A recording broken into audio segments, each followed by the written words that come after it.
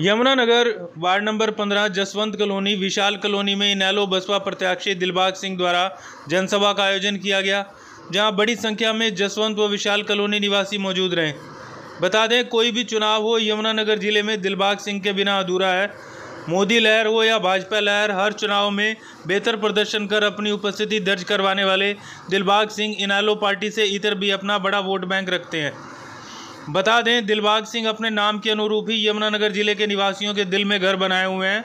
यह उन्होंने road show के दौरान दर्शाया भी व सभी चुनावी प्रत्याशियों को दिखाया भी कि दिलबाग सिंह दिलबाग सिंह ही है, उनके जैसा कोई नहीं। यमुनानगर में ताबड़तोड़ जनसभा कर जनता को इनैलो बसपा पार्टी को वोट देने की अपील कर रहे दिलबाग सिंह की। हर जनसभा में बड़ी संख्या में लोग जुट रहे हैं। इनैलो बसपा प्रत्याशी दिलबाग सिंह को समर्थन दे रहे हैं। ऐसी सभा का आयोजन आज जसवंत कॉलोनी, विशाल कॉलोनी में किया गया, जहाँ पर बड़ी संख्या में इलाका निवासी मौजूद रहे। बता दें, इनेलो बसपा प्रत्याशी दिलबाग सिंह ने इस अवसर पर क्या कहा? सुने। मेरी माताओं, मेरी बहनों, सबसे पहले तो आपका बहुत बहुत धन्यवाद। यहाँ भी इकट्ठा होके मुझे अपना आशीर्वाद और सहयोग देने के लिए आए। इसके लिए मैं अपनी तरफ़ से और अपनी इंडियन नेशनल लोकल पार्टी की तरफ़ से और बहुजन समाज पार्टी की तरफ़ से आपका धन्यवाद करता हूँ शुक्रिया अदा करता हूँ। साथियों पाँच अक्टूबर का इलेक्शन है। और इस पाँच तारीख को आप जब वोट करने जाए तो सोच समझ के जाए। पहले सोचें अगर जिस दिन वोट होगी वोट के वक्त बटन दबाते सोचेंगे। तो फिर गलती करेंगे। क्योंकि तो पिछले 20 साल से आपने 10 साल सरकार कांग्रेस की बनाई और 10 साल बीजेपी इन 20 सालों में इन दोनों पार्टियों ने हमें झूठ बोल के, गुमराह करके आप सबका सबका बहुत नुकसान किया। हमारे बच्चों से रोज़गार नहीं मिले, नौकरियाँ नहीं मिली तो सब कुछ, जो कुछ भी ये कर सकते थे हमारे साथ उतना ही बुरा हुआ।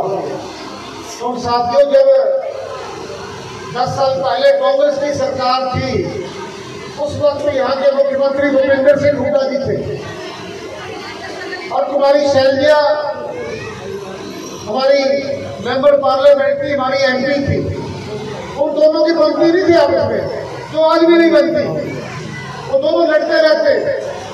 उन दोनों की लड़ाई में हमारे इस इलाके में गवर्नमेंट के नाम का सौ रुपया भी लगने नहीं दिया। परंतु वो पैसे किसके थे? आप लोगों के। हरियाणा में सबसे ज़्यादा अगर कोई टैक्स देता है तो यमुनानगर डिस्ट्रिक्ट देता है। और सबसे किसी बुरी की बुरी हालत है यमुनानगर की हालत। आज अपना नाला देख लो आप।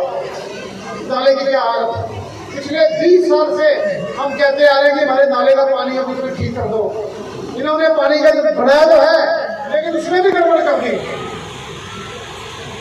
यानी कि हम छोटी छोटी चीज़ों के लिए भी तरसते हैं, जो हमारे खुद के पैसे हैं, जो हम पे लगनी चाहिए, हम किसी से खराब नहीं मांगते हम तो कहते हैं, जो हमने दे रखे हमारे ऊपर ही लगा दो। साथियों, हमारी सड़कें टूटी हैं, उस वक्त बुरी हालत थी। नालियाँ नहीं थी, तारे खंबे सीट कुछ भी नहीं था। अब तो गलियाँ भी नहीं बनती थी लेकिन रोहतक में फ्लाई ओवर बन गए आज के अंदर फ्लाई ओवर आप देख सकते हो। लेकिन तुम्हारी गली आज भी नहीं है। साथियों, ये होना चाहिए था। तो आप ही सरकार को पैसे देते हो, आपके खजाने से ही पैसा जाता है, उसी से डेवलपमेंट होती है। वो मिलना चाहिए था। लेकिन उससे भी ज़रूरी जो चीज़ थी, वो भी आपके बच्चों के लिए नौकरी और रोज़गार। साथियों उस दस साल में बहुत नौकरियाँ निकली। बड़े बड़े अफसरों की नौकरियाँ निकली। तो डीएसपी लगाया, कोई एस लगाया, कोई आरटीओ लगाया, कोई सेल लगाया, कोई का लगाया, कोई तहसीलदार लगाया। बड़े बड़े अफसरों की नौकरियाँ भर्ती करी गई। साथियों, लगाए कहा के रोहतक से क्योंकि भूपेंद्र सिंह हुड्डा जी ने अपने बेटे के पार्लियामेंट की सीट को पक्का करने के लिए सब नौकरियाँ वहाँ बांट दी। वहाँ के लड़कों को तो नौकरियाँ मिली मिली लड़कियों को भी नौकरी लगा दिया। हमारे को किसी ने चपरासी भी लगाया आपको लगाया किसी ने? आपको नहीं, किसी को भी लगाया। हमारे ज़िले में किसी को भी लगाया। क्योंकि तो हुडा साहब उस टाइम कहते थे कि अगर आधा खेत जोतने से घर चलता हो तो पूरा खेत में मिल करने की क्या ज़रूरत है? उसके कहने का मतलब यह था कि अगर उसी साइड से पैंतालीस एमएलए बनते हो तो फिर भी यमुनानगर की ज़रूरत नहीं है। ये उसने बयान दिया था और आज से छह, आठ महीने पहले उसने अनाज मंडी यमुनानगर जिला ज़िले में आके माफ़ी मांगी थी कि मैंने गलती कर दी।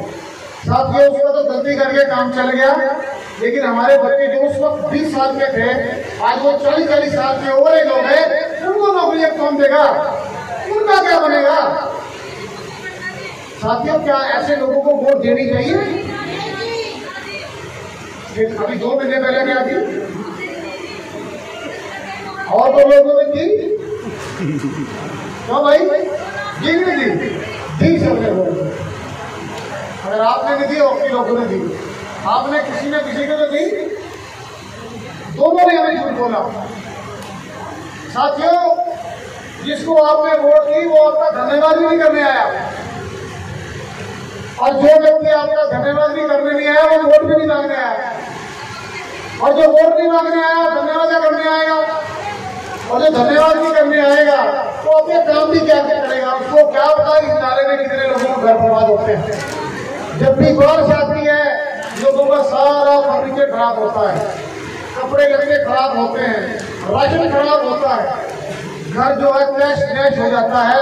इसको क्या मालूम? तो मैं इसलिए कहता हूँ कि सोच समझ के वोट दिया करो। जो आपके बीच में रहता है, उसे वोट दिया करो। साथियों, वोट दिया करो अपने बच्चों के नाम की, अपने भविष्य के नाम की, अपनी नौकरी रोज़गार के नाम की। क्योंकि आपकी एक एक वोट आपका खुद का भविष्य लिखती है। क्योंकि यही लोग पार्लियामेंट और विधानसभा में बैठ के आपके लिए कानून बनाते हैं। और जिस तरह के कानून बनते हैं, उसी तरह के रोज़गार और नौकरी आती हैं। तो इसलिए ये बहुत ज़रूरी है कि सोचा करो। और इस बीजेपी सरकार ने दस साल में क्या किया हमारे साथ? हमें सपने दिखाए बड़े बड़े सपने दिखाए। इन्होंने कहा कि हम हर साल दो करोड़ नौकरियाँ दिया करेंगे।